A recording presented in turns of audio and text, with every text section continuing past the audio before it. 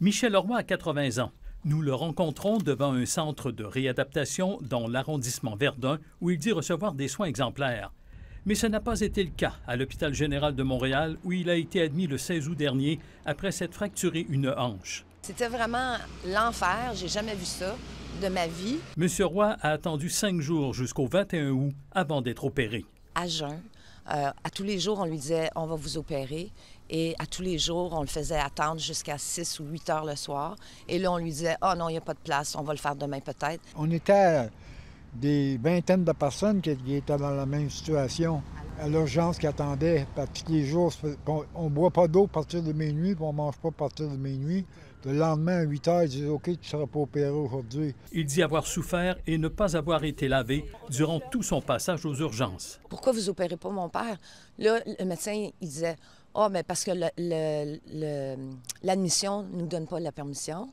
Là, j'appelais l'admission, parce que les disaient Non, c'est pas vrai, c'est les médecins qui, qui veulent pas. Alors, ils se lançaient la balle à tous les jours comme ça. Ils ne peuvent pas t'opérer avant, avant qu'il y ait une chambre pour toi en haut. C'est ça. C'est ça l'affaire. Sa fille ne veut pas en rester là. Elle a porté plainte à la commissaire aux plaintes de l'hôpital. C'est torturer des gens, des gens de cet âge-là. Il n'est pas le seul à avoir subi les faiblesses du système de santé. Transportons-nous à l'hôpital Maisonneuve-Rosemont. Lynn Perron y est arrivée inconsciente en ambulance le 2 juillet dernier. Elle avait une pierre au rein et une autre logée dans les voies urinaires. Elle est demeurée une semaine aux soins intensifs à la suite d'une grave infection qui a nécessité de la dialyse.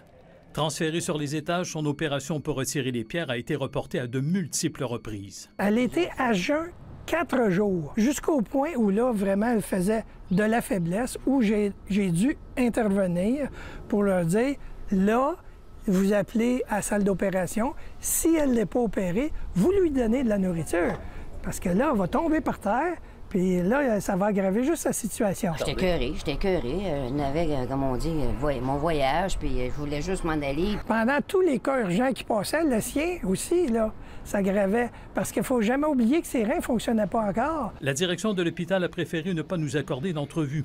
Durant l'été de juin à août, il y a eu 545 opérations à Maisonneuve-Rosemont. 580 ont dû être annulées, entre autres par manque de temps opératoire. À chaque jour, il y a des chirurgies qui sont annulées, qui sont repoussées. On a le personnel pour continuer trois salles, mais on aurait besoin d'en continuer cinq pour ne pas annuler de cas. Fait qu'à ce moment-là, on doit faire des choix déchirants qui se traduisent souvent en annulation. Je m'imagine assez les gens qui sont seuls, qui n'ont pas personne pour les assister? Disons que ça fait peur pour euh, les gens qui vieillissent.